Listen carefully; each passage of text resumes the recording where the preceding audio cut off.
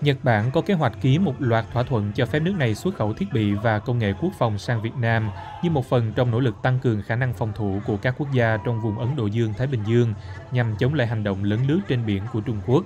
báo Nikkei của Nhật Bản đưa tin.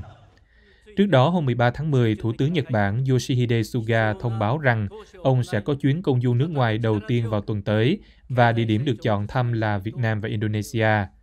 Dự kiến hợp tác về an ninh sẽ là chủ đề làm việc chính và việc ký thỏa thuận bán vũ khí là một phần trong nghị trình làm việc của tân lãnh đạo Nhật Bản với Việt Nam. Tại châu Á, các quốc gia có tranh chấp chủ quyền với Trung Quốc ở Biển Đông được xem là các nước tiềm năng cho việc bán vũ khí của Nhật Bản. Đến nay, Nhật Bản đã ký các thỏa thuận chuyển giao vũ khí dạng này với 9 quốc gia, trong đó có Mỹ, Anh, Philippines và Malaysia, theo Nikkei.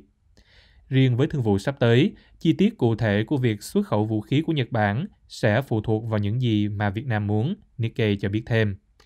Nhật Bản đã quảng bá máy bay tuần tra P-1 và máy bay vận tải C-2 ra nước ngoài, đồng thời ký thỏa thuận xuất khẩu hệ thống radar cảnh báo và kiểm soát của hãng Mitsubishi Electric với Philippines hồi tháng 8.